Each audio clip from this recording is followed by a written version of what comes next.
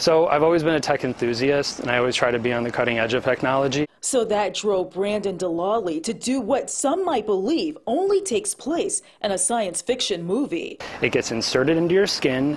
A chip, and not the type you eat, but a microchip, has been implanted in Brandon's left hand. Wait. Wait, what did you say? This one is just a little guy right there. Yeah, I see that right there. But why? Why would you do that? So after that was inserted and it, the swelling went down, uh, I'm able to open up the front and back door to my house. I can uh, walk up to people and have them tap their phone to my hand and instantly transfer my contact information, my portfolio.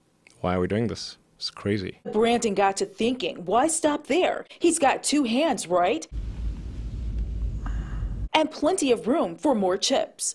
So I thought, how cool would it be if I could leave my house, no car key, no house key, So two weeks ago, right here in Michigan, Brandon got another chip implanted, this one in his right hand, to unlock and start his Tesla.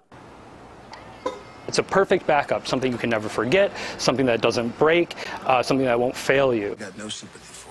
The chips themselves are anywhere from between two and three hundred dollars, and the install only ran me about a hundred dollars because you can go to a local piercing shop who will obviously agree to do the installation. All the programming and coding of putting the apps on the chip, that's all done by me. Moving forward, Brandon is thinking about having other chips implanted in his body. So it'll be inserted right under or right over your breast, and then you can tap your phone to your chest. Silence!